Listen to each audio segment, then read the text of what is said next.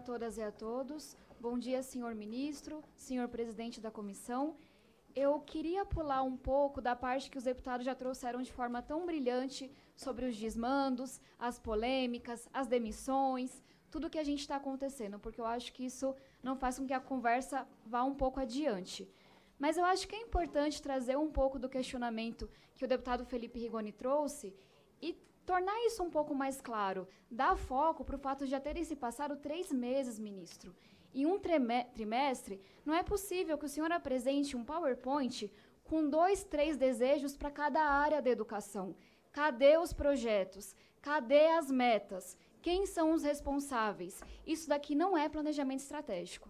Isso daqui é uma lista de desejos.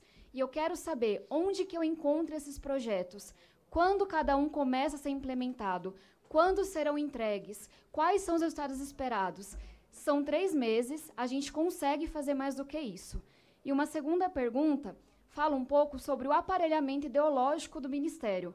Eu não vou ficar discutindo fumaça, não vou ficar falando que sou contra escola sem partido, etc, etc, porque eu sou contra, mas não acho que é isso que importa. A gente precisa de profissionais preparados em gestão, educação.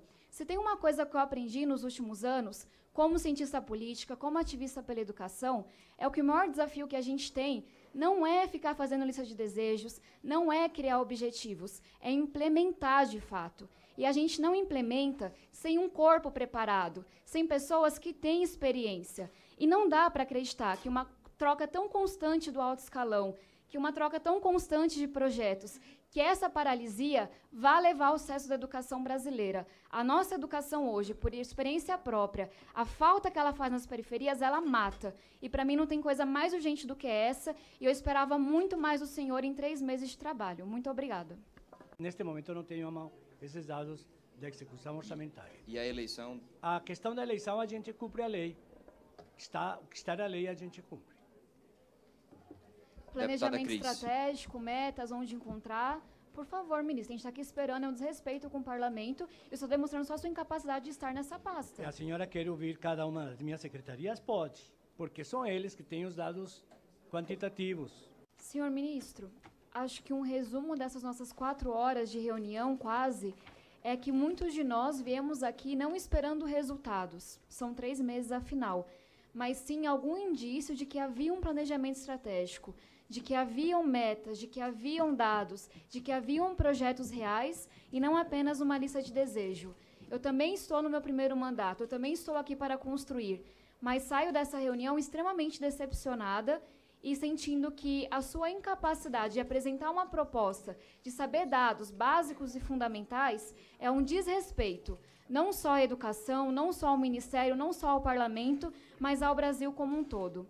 Cada vez que o senhor falava, vou chamar meu, meu secretário, posso chamar não sei quem, me vinham à cabeça duas perguntas.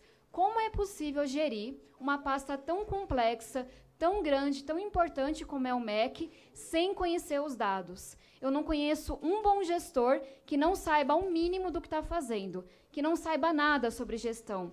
E eu me perguntava também se o senhor estudou para essa reunião, se o senhor entendeu a relevância do que está acontecendo aqui, porque para mim é extremamente importante e só se confirma o que a gente veio trazer. Quando eu vejo na lista de desejos BNCC e Fundeb juntos, que são coisas completamente diferentes, mundos à parte, eu só peço a sua humildade de ouvir as propostas que estão nessa mesa, que estão nessa sala nesse momento. A professora Dorinha trouxe propostas para o Fundeb. A gente quer um Fundeb que aumente a complementação da União, que esteja na Constituição, que espalhe boas práticas Brasil afora. Eu apresentei um projeto para criar critérios para as transferências voluntárias do Ministério da Educação, já que não há projetos no Ministério que ao menos acolha os nossos, que ao menos sente para conversar e entender o que a gente quer para esse Brasil. E eu queria concluir, senhor ministro, dizendo e perguntando se o senhor tem a mínima noção da gravidade, da seriedade que isso representa. Eu perdi meu pai para as drogas, eu perdi amigos e vizinhos para a violência, para o crime, e eu tenho plena consciência que se eles tivessem completado o ensino fundamental, se eles tivessem tido qualquer chance na educação, eles não teriam morrido tão jovens. Quando a gente fica nessa brincadeira de fumaça, quando a gente fica nessa discussão ideológica, quando a gente não fala do que importa, porque é difícil de implementar, a gente está dizendo que sim, é ok a gente perder uma nação inteira que simplesmente nunca teve oportunidade. Eu não espero mais nenhuma resposta, eu já entendi que isso não vai acontecer. Então, a mim me resta lamentar o que está acontecendo, continuar o meu trabalho de educação que não começa com esse mandato e esperar que o senhor mude de atitude, o que parece completamente improvável, ou saia do cargo de ministro da Educação. Obrigada. Passo a palavra ao ministro Ricardo Vélez. Bem, se a senhora não espera nenhuma resposta, para que faz pergunta? Eu já respondi a várias, mas não quiseram ouvir. Das que são respondíveis, porque tem um monte de coisas que é avaliação em totalidade, tem que ir embora, é inadequado. Diante disso, o que posso fazer? A única coisa que posso dizer é que fico. Só me demito se o senhor presidente da República me pedir, se ele, que é o chefe do Estado, achar que a minha colaboração não está sendo adequada.